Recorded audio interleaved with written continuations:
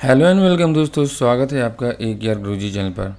दोस्तों कॉर्डो के full course की इस वीडियो में आज हम टूल बॉक्स में नेक्स्ट ऑप्शन सीखेंगे। नेक्स्ट टूल सीखेंगे यहाँ से, ये crop knife virtual segment delete erase and यहाँ से जूम एंड पैन तो दोस्तों, बने रहिए वीडियो में लास्ट तक।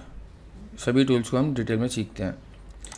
तो दोस्तों, यहाँ पर हमें क्रॉप टूल चलाना है तो उसके लिए या तो हम किसी शेप पर इसको यूज़ करेंगे, या फिर कोई हमारे पास यहाँ पर फ़ोटो या पिक वगैरह होना चाहिए था। तो फ़ोटो निकालने के लिए हम यहाँ पर कंट्रोल आई प्रेस करेंगे कीबोर्ड से, और यहाँ से कोई भी एक फ़ोटो चुन लेते हैं। तो सपोज़ करो मैंने यहाँ पर ये फ़ोटो ले लिया, यहाँ से इस तरह से, इम्पोर्ट पर क्लिक किया और यहाँ पर इस तरह से क्लिक, माउस के क्लिक को प्रेस करके ड्रैग कर लिया। तो ये हमारे पास फ़ोटो यहाँ पर आ गया है, या फिर मान लो हमारे पास ये शेप है इस तरह से तो किसी भी ऑप्शन पर हम चला सकते हैं, यहाँ पर ऑब्जेक्ट पर भी चला सकते हैं और इमेज पर भी चला सकते हैं इस टूल को। तो यहाँ से हमने सिंपल क्रॉप टूल को लिया और देखिए जितना भी फ़ोटो हमें यहाँ पर चाहिए सपोज़ करो हमें यहाँ पर इतना फ़ोटो रिक्वायरमेंट है, बाकी हमें फ़ोटो नहीं चाहिए। तो जितना फ़ोटो हमें यहाँ पर चाहिए, उतना हमने सिलेक्शन किया यहाँ पर और उसके बाद फ़ोटो के बीच में, जो सिलेक्शन हमने किया उसके बीच में कहीं पर भी डबल क्लिक कर देंगे माउस से। तो इस तरह से देखिए हमने जितना भी क्रॉप किया है, वो हमारे पास फ़ोटो आ जाएगा। फ़िलहाल मैं इसको वापस कर रहा हूँ कंट्रोल जेड से। इसी तरह हम शेप पर भी चला सकते हैं। हमने ये शेप सिलेक्शन की हुई है और क्रॉप टूल लिया और जितना भी हमें क्रॉप करना है उतना हमने सिलेक्शन किया और डबल क्लिक कर दिया यहाँ से इस तरह से। ठीक है तो इस तरह से हम अपने किसी भी शेप को या फिर इमेज को क्रॉप कर सकते हैं क्रॉप टूल से। नेक्स्ट ऑप्शन यहाँ पर नाइफ टूल दिया हुआ है। इसी तरह हम नाइफ टूल भी आ, किसी भी शेप या फिर एक बार इमेज पर यूज़ कर सकते हैं। सिंपली हमने अपनी इमेज को सिलेक्शन किया होना चाहिए और यहाँ से नाइफ टू लिया। और जितना भी हमें कट करना है, उतना इस तरह से हम ड्रैग कर देंगे। तो देखिए, ये हमारी जो पिक है इमेज है, वो कट हो चुकी है। पिक टू लेंगे, एक बार सिलेक्शन इसका हटा देंगे बाहर क्लिक करके। और उसके बाद देखिए, ये फ़ोटो मैंने अलग कर दिया। तो इस तरह से हम किसी भी अपनी पिक को फ़ोटो को कट कर सकते हैं। इसी तरह शेप को भी हम कट कर सकते हैं। ये देखिए। तो नाइफ टूल से हम अपने किसी भी शेप को या फिर इमेज को ईजिली कट कर सकते हैं। नेक्स्ट टूल मिल जाता है फ्रेंड हमें यहाँ पे मिल जाता है वर्चुअल सेगमेंट डिलीट तो इस टूल को अच्छे से यूज़ करने के लिए हम एक यहाँ पर डिज़ाइन क्रिएट करेंगे. वैसे तो सिंपली हम किसी भी ऑब्जेक्ट को सपोज़ कि हमने यहाँ पर कोई भी एक शेप बनाई हुई है इस तरह से और वर्चुअल सेगमेंट डिलीट टूल से अपनी शेप को जैसे हम सिलेक्ट करते हैं देखिए वो डिलीट हो जाती है इस तरह से. बट इसको और अच्छे से समझने के लिए हम यहाँ पर एक डिज़ाइन क्रिएट कर लेते हैं. सपोज़ करो हमने यहाँ पर कोई एक आ, मैंने एक सर्कल बनाया और इस सर्कल को मैंने कॉपी किया है। माउस के क्लिक को प्रेस करके इस तरह से इसको ड्रैग किया और साथ ही माउस का राइट क्लिक कर दिया। इस तरह से। तो ये डुप्लीकेट बन गया इसका। अब देखिए फ्रेंड्स का काम क्या है? अब सपोज़ कर मुझे ये बीच की जो लाइन है, वो यहाँ से हटानी है और ये बीच की लाइन जो हटानी है मुझे।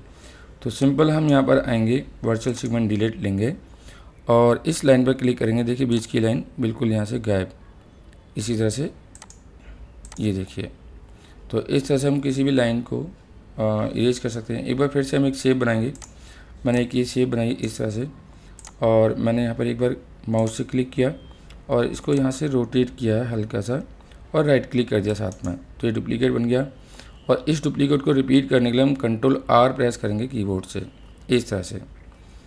अब देखिए दोस्तों, यहाँ से यहाँ से हमने वर्चुअल सीमेंट डिलीट ऑप्शन लिया है।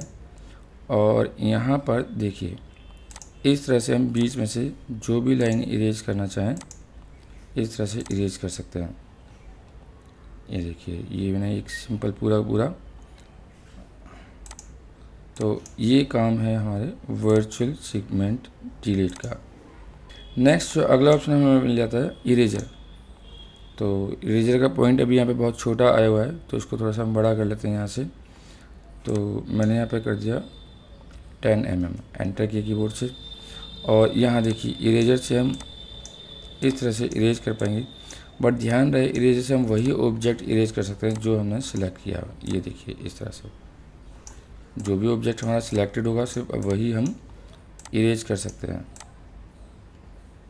इस तरह से मैंने कोई ऑब्जेक्ट बना रखा है और इसको सिलेक्शन कर रखा है तो इरेजर से हम इसको ईजिली इरेज कर सकते हैं, इस तरह से। Okay okay. नेक्स्ट ऑप्शन मिल जाता है हमें यहाँ पर hand tool sorry zoom tool Z press करके ले सकते हैं हम, या फिर एफ़ टू से हम जूम करना जानते हैं। तो इस तरह से हम जेड प्रेस करके शॉर्टकट की से ले सकते हैं। या फिर हम जो F2 प्रेस करके कीबोर्ड से जूम करते हैं, वो भी हम यहाँ पर कर सकते हैं। जूम आउट करना तो यहाँ पर क्लिक कर सकते हैं, या फिर कीबोर्ड से F3 कर सकते हैं। नॉर्मल करना तो एक बार में शिफ्ट F4 कर सकते हैं कीबोर्ड से। और फ्रेंड यहाँ पर जो नेक्स्ट जो ऑप्शन है वो है हमारा हैंड टूल यहाँ पर लिखा हुआ है पेन इसे हम हैंड टूल भी बोल सकते हैं. तो एस प्रेस करके हम ले सकते हैं. कॉल्डो की फ़र्स्ट वीडियो में मैंने आपको ये ऑप्शन बताया था. तो कीबोर्ड से अगर एस प्रेस करते हैं तो आपके पास हैंड टूल आता है और अपने पेज को आप इस तरह से इसको मूव कर सकते हैं. तो फ्रेंड आज आज की इस वीडियो में इतना ही. नेक्स्ट वीडियो में हम यहाँ से ये सभी ऑप्शन सीखेंगे. तो सभी ऑप्शन की अच्छे से प्रैक्टिस करें. दोस्तों वीडियो में अगर आपको कुछ भी समझ में नहीं आता तो प्लीज़ कमेंट ज़रूर करें और वीडियो को लाइक करें शेयर करें, अगर वीडियो आपको अच्छी लगती है तो। और चैनल को सब्सक्राइब ज़रूर करें कोर्डो के फुल कोर्स को कंप्लीट करने के लिए।